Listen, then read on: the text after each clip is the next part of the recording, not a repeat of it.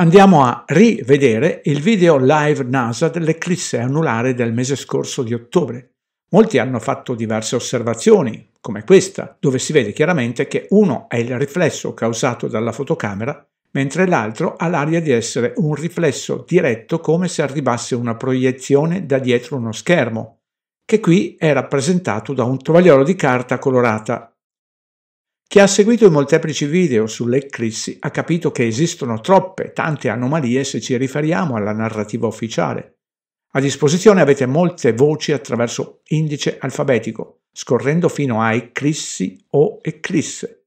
Ma andiamo a vedere cosa è successo attraverso il video live della NASA di cui trovate il link originale nella descrizione. Non mi risulta che la NASA abbia fornito qualche spiegazione ufficiale. Sappiamo che la NASA in occasione di quell'evento aveva inviato un razzo per studiare l'atmosfera e che la missione missilistica della NASA lancerà tre razzi durante l'eclisse lunare del 2023 in ottobre per studiare come l'improvviso calo della luce solare influisce sulla nostra atmosfera superiore. Facciamo finta che sapendo a che distanza dovrebbe trovarsi il Sole, non penso ci sia alcuna influenza perché se durante l'inverno, stagione in cui dovremmo essere più vicini, c'è più freddo, non trovo alcun senso per un esperimento del genere, ma è il mio pensiero. I più audaci hanno già visto che i Veda giustificavano le eclissi per i due corpi celesti Rau e Ketu, due corpi opachi che si frappongono fra il Sole e la Terra o fra la Luna e la Terra. Ma torniamo al video live NASA e osserviamo questa corona interna. Avete visto il bagliore?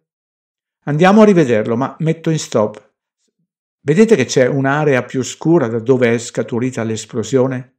Questa non è la Luna perché secondo la NASA questa esterna è l'ombra della Luna.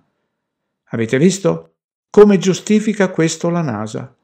Probabilmente sapevano qualcosa e hanno inviato i razzi lassù per cercare di comprendere cosa succedeva.